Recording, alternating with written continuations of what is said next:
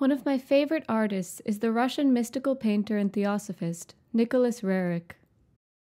He was strongly influenced by the new romantic interest in nature and also contributed his own genius and religious philosophy to his works, forming an independent style. This painting is called Battle in the Heavens. However, this mythical title, harkening back to the culture of ancient Greece, does not refer to any classical anthropomorphic gods representing the battle. Let me explain. Battle in the heavens is a reference to ancient Greek religion.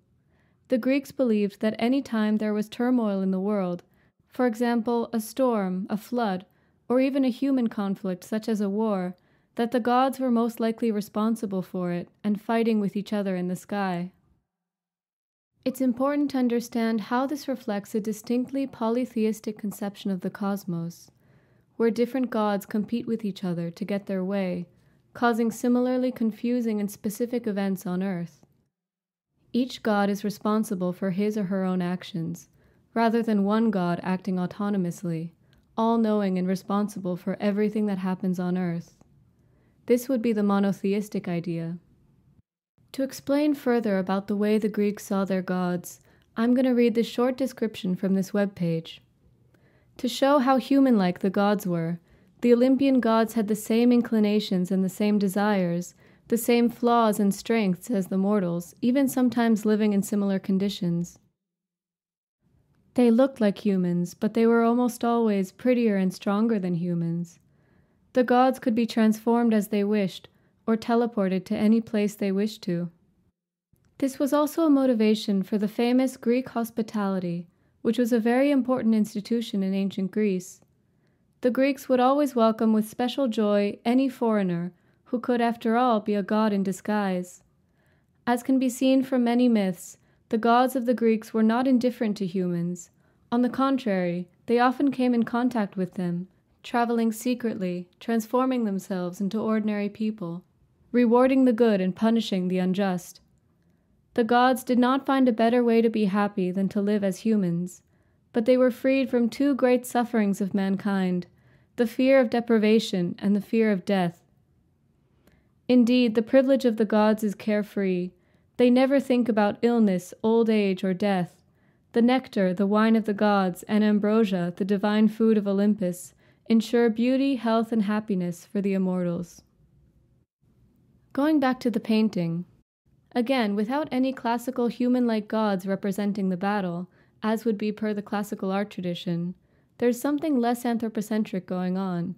The forces of nature controlling the weather are not shown in the form of human gods, but understood as the physical and natural processes themselves.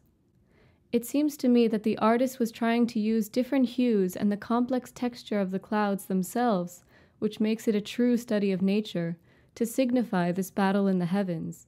He could only do this in an age where nature was being studied and depicted again for its own sake in the Romantic era.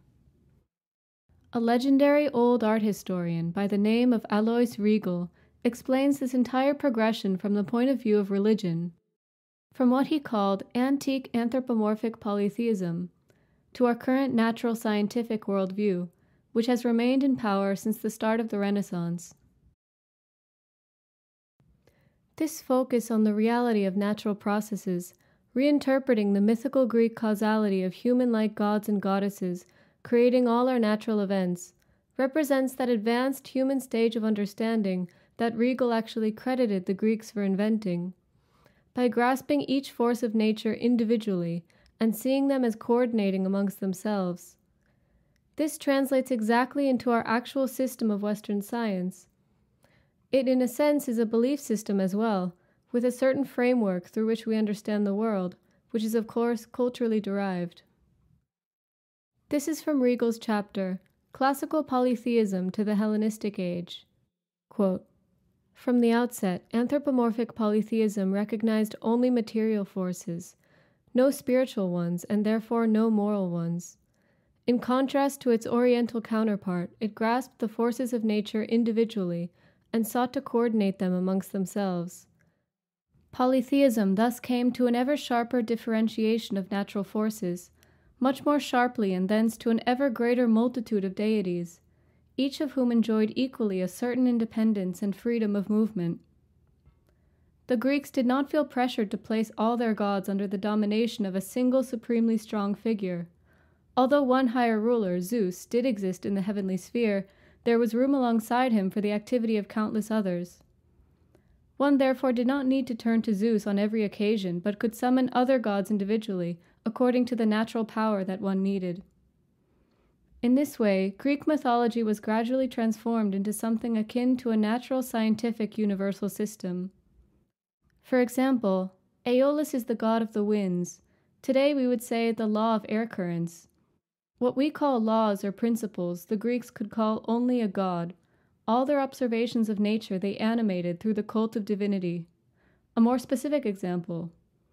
One witnesses a lightning bolt spare a house at the edge of a forest over which a storm is passing.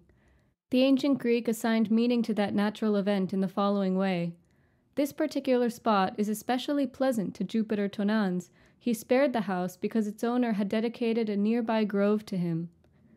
Today we would draw on the laws of causality, arguing that electrical forces surging outward through the tips of the trees prevented the lightning bolt from striking the house. This means that polytheism, as the Greeks understood it, led inevitably to the investigation of individual forces of nature and thus, as it continued in that direction, to our own natural sciences. To ancient people, not only the Greeks, the individual natural force was always personified.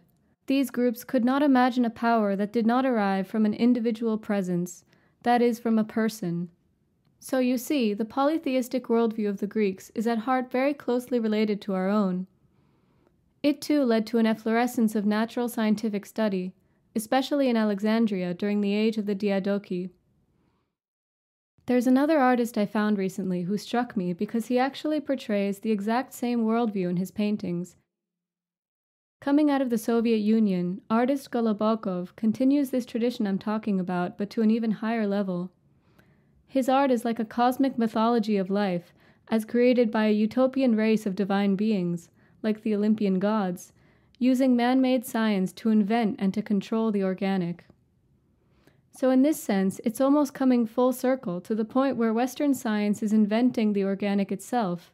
We are the creators of the universe, rather than the natural world giving birth to our conceptions of scientific processes. This is probably its final destination in Western culture. Also, see the parallels to classical themes. Because it's such a deep part of our culture, Many images recall this battle of the heavens derived from the Greeks. This painting shows yet another contrast between futuristic and archaic, looking like it's resurrecting a woolly mammoth.